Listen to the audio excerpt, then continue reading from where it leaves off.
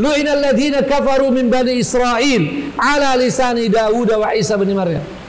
Ayatnya sangat panjang dan khutbah ini tidak boleh terlalu panjang. Intinya mereka dilaknat karena apa?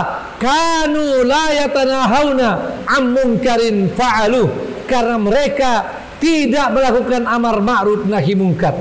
Mereka membiarkan kemungkaran. Akhirnya dalam tafsir dikatakan dalam riwayat yang sahih dikatakan bahwa mereka yang tadinya tidak suka kemungkaran bahkan ikut mengingatkan tapi mereka mengingatkan tidak serius tidak sungguh-sungguh.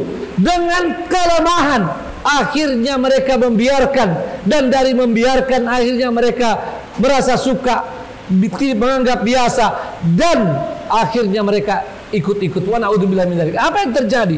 Apakah mereka menjadi selamat tidak. Mereka pada akhirnya dihancurkan oleh Allah SWT. Diadab. Tapi mereka diadab sudah dalam keadaan murtad. Dalam keadaan sesat atau pendosa. Ya, menjadi pendosa-pendosa. Maka betapa mulianya saudara-saudara dari Gaza. Mereka bertahan karena mereka mendapatkan kemuliaan walaupun mereka harus menghadap Allah SWT.